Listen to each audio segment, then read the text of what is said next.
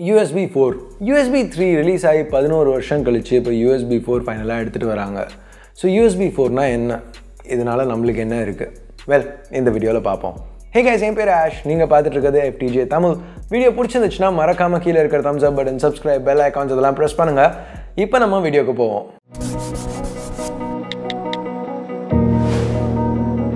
So இப்போ start பண்ணுறதுக்கு முன்னாடி யூஎஸ்பி பற்றி ஜென்ரலாக தெரிஞ்சுக்க வேண்டிய ஒரு சில விஷயங்கள். யூஎஸ்பி ஸ்டாண்டர்ட்ஸ் இன்றைக்கி நம்ம பார்த்துட்டு இருக்கிறது யூஎஸ்பி ஐஎஃப் இல்லை யூஎஸ்பி இம்ப்ளிமெண்டர்ஸ் ஃபோரம் அப்படிங்கிற ஒரு நான் ப்ராஃபிட் ஆர்கனைசேஷன் இதை வந்து ஒரு குரூப் ஆஃப் கம்பெனிஸ் ஃபார்ம் பண்ணியிருக்காங்க. அவங்க தான் இந்த டெ இந்த யூஎஸ்பி ஸ்டாண்டர்டை டெவலப் பண்ணாங்க இனிஷியலாக ஸோ இன்றைக்கி Apple Microsoft Intel Tex Texas Instruments அப்படி ஒரு ஒரு சில மேஜர் டெக் கம்பெனிஸ் எல்லாம் இந்த யூஎஸ்பி ஐஎஃப் ஐஎஃப்க்கு கண்ட்ரிபியூட் பண்ணி மெயின்டைன் பண்ணிட்டு இருக்காங்க ஸோ இந்த யூஎஸ்பி ஐஎஃபோட ஃபோக்கஸ்னு பார்த்தா யூஎஸ்பி டிவைசஸோட டெவலப்மெண்ட் யூஎஸ்பி ஸ்டாண்டர்டோட டெவலப்மெண்ட் அப்புறம் கம்ப்ளையன்ஸ் அந்த மாதிரி எல்லாம். ஸோ இப்போ ரெண்டாயிரத்தி பத்தொம்போதில் ஃபைனலாக யூஎஸ்பி த்ரீலேருந்து யூஎஸ்பி ஃபோர் ஸ்டாண்டர்டுக்கு மூவ் பண்ணலாம் அப்படின்னு சொல்லியிருக்காங்க.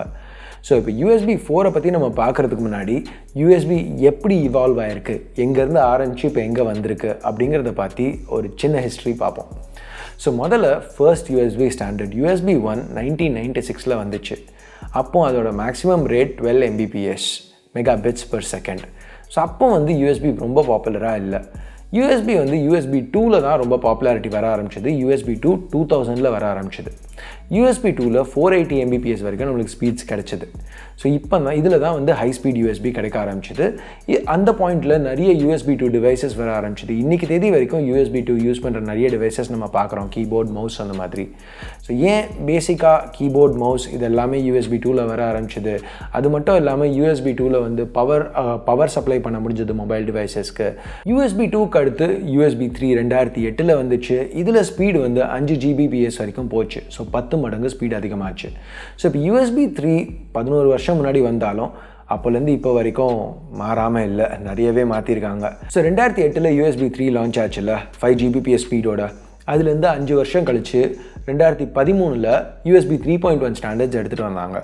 ஸோ அப்போ புதுசாக க்ரியேட் பண்ணதை யூஎஸ்பி த்ரீ பாயிண்ட் ஒன்னு சொல்லாமல் ஏற்கனவே இருந்த யூஎஸ்பி த்ரீ பாயிண்ட் ஓவை அதை அப்படியே வந்து USB three point one gen one அப்படின்னு மாற்றிட்டு புதுசாக வந்ததை USB three point one gen two அப்படின்னு சொல்லிட்டாங்க.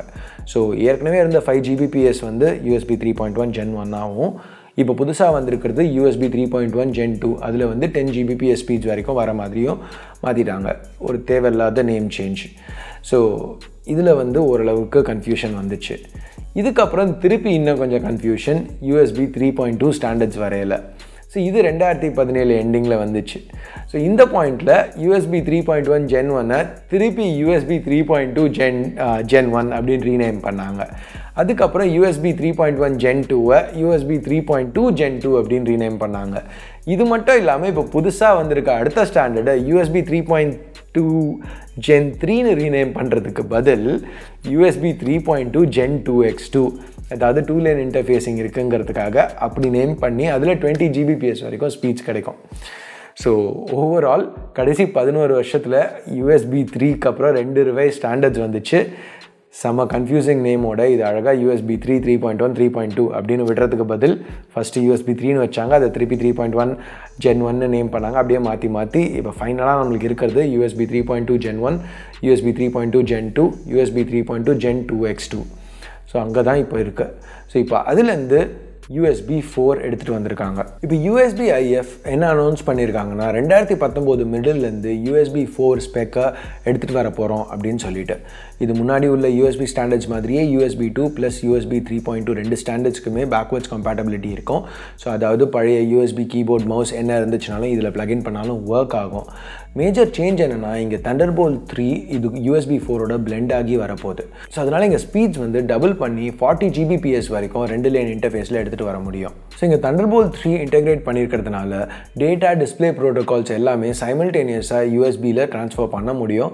So multiple four K monitor monitors நீங்கள் ஒரு கேபிளில் கனெக்ட் பண்ணி அப்படியே டேசி சேஞ்ச் பண்ண முடியும். ஸோ ஃபார் எக்ஸாம்பிள் ஃபியூச்சரில் உங்கள் லேப்டாப்பில் ஒரு யூஎஸ்பி ஃபோர் போர்ட்லேருந்து ஒரு கேபிள் எடுத்து ஒரு மானிட்டருக்கு இன்புட் கொடுத்து அந்த மானிட்டர்லேருந்து ஒரு கேபிள் எடுத்து இன்னொரு மானிட்டருக்கு இன்புட் கொடுத்து அந்த மாதிரியே உங்கள் லேப்டாப்பில் ஒரு போர்ட் இருந்தாலும் மூணு மானிட்டருக்கு இப்போ கனெக்ஷன் கொடுக்க முடியும். ஸோ தண்டர் போல்ட்டுங்கிறது இன்டெலோட லைசன்ஸ் ப்ராடக்ட் மேனுஃபேக்சரர்ஸ் இதை யூஸ் பண்ணுறதுக்கு முன்னாடிலாம் வந்து இது இன்டெலுக்கு காசை பே பண்ண வேண்டி இருந்துச்சு.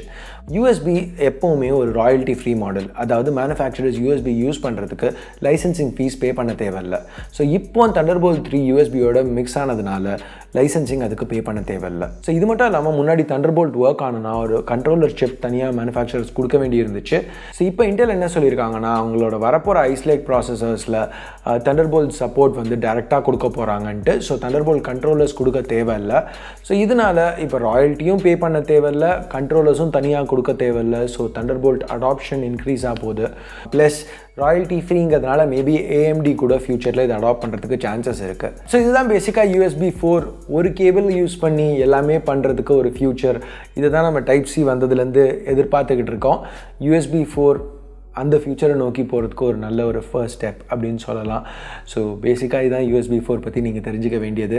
வீடியோ இன்ட்ரெஸ்டிங்காக இருந்துச்சு இல்லை பிடிச்சிருக்க பிடிக்கல என்ன நினைக்கிறீங்களோ அதை பேஸ் பண்ணி கீழே உள்ள தம்ஸ் அப் தம்ஸ் டவுன் பட்டனை ப்ரெஸ் பண்ணுங்கள் முடிஞ்சால் ஃப்ரெண்ட்ஸ் ஃபேமிலி மெம்பர்ஸ் கூட ஷேர் பண்ணுங்கள் சப்ஸ்கிரைப் பண்ணலாம் சப்ஸ்கிரைப் பட்டன் ஏற்கனவே சப்ஸ்கிரைப் பண்ணியிருந்தீங்கன்னா பக்கத்தில் உள்ள பெல் ஐக்கான் இதெல்லாம் ப்ரெஸ் பண்ணுங்கள் அப்போ தான் நாங்கள் போடுற வீடியோஸை நீங்கள் மிஸ் பண்ணாமல் பார்க்க முடியும். ஸோ இந்த ரெண்டு வீடியோவில் ஏதாவது இது வரைக்கும் பார்க்கலனா இப்போ கிளிக் பண்ணி பாருங்கள் அடுத்த வீடியோவில் உங்களை திருப்பி சந்திக்கிற வரைக்கும் என் பேர் ஆஷ். நீங்கள் பார்த்துட்டு இருக்குது எஃப்டிஜே Tamil. Have a nice day. Bye.